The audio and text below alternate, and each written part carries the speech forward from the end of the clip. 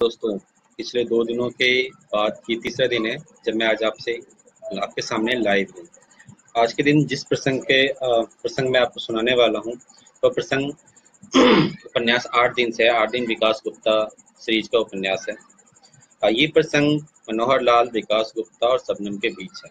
तीनों किरदारों से आप पहले से भी मुखातिब हो चुके हैं। ऑलरेडी ताकि तीनों उपन्यासों में पढ़ भी चुके हैं। आगे कौन से उपन्यास आएँगे इस सीरीज़ के? कुछ कहना मुश्किल मैं शुरू करता हूँ। विकास बोला, चीयर्स। मनोहर लाल बोला, चीयर्स तो मेरी भी दर्ज कर लो बच्चों, लेकिन बड़ी कामयाबी का चीयर्स पियर से गलत है। तो क्या मंगाए? अरे, बेटा दीन दयाल दयालु तेरे को मालूम है कि कर्नल साहब का favourite drink Johnnie Walker Black level है। दयालु वाले कुछ नहीं, खलीफा विस्की का बिल तुम खुद भरोगे। तुम ब्लडी सिविलियन लोग मेरा बहुत बेजती करता है। मिलिट्री में होता तो ब्लडी कोर्ट मार्शल कर देता। मैं करा लेता, लेकिन आपसदारी में तो खाल में रहो। चल सर तो हो जाए इसी बात पर, तेरे मेरे में। तू हारा तो आज का, यहाँ का। सब खाना पीना तेरे जिम्मे, मैं हारा तो मेरे जिम्मे। कैसी सर? मामूली? यानी कि अपने सागिर्द को थूक लगाओगे? देखी मेरी उस्तादी, तू पहले से सोचे बैठा है कि तू हारेगा। ऐसी कोई बात नहीं। तो ये क्यों कहा मैं सागिर्द को थूक लगाऊँगा?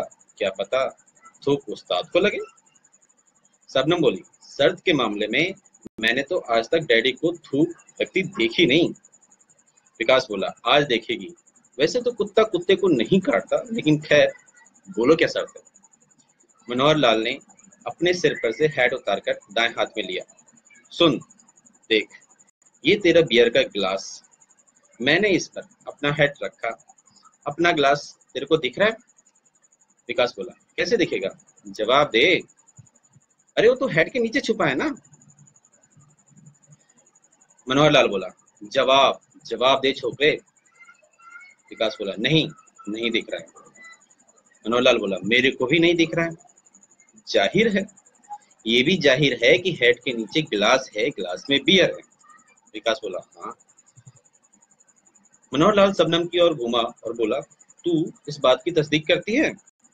सबनम बोली करती हूँ। वो वापस विकास की तरफ़ घूमा और बोला, गुड, अब मैं हेड को बिना छुए तेरे सामने गिलास, अपनी सब्बों के सामने गिलास की बियर पी जाऊँगा।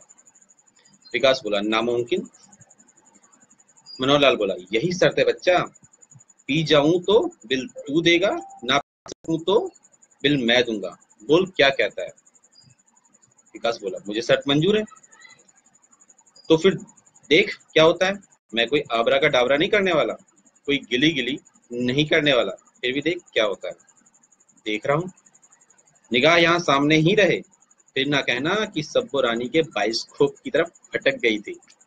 नहीं कहूँगा go.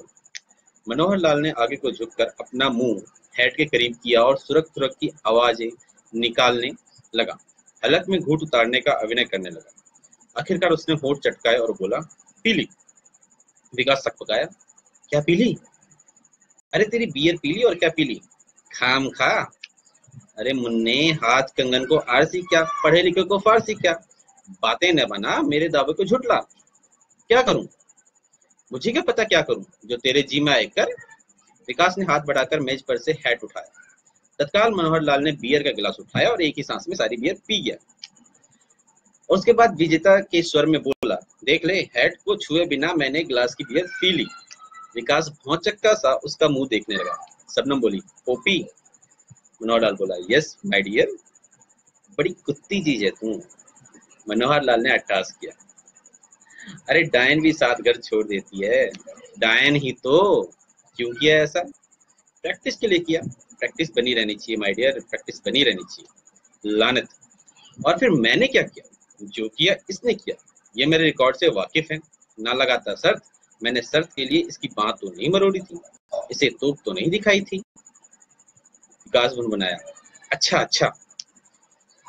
चल ऑर्डर दे अब ब्लैक लेवल का। दोनों पैक इकट्ठे मंगा और ये बियर टू पकड़ डिस्काउंट के तौर पर। थैंक यू आज के लिए। मुझे सुनने के लिए। Good night Malkauns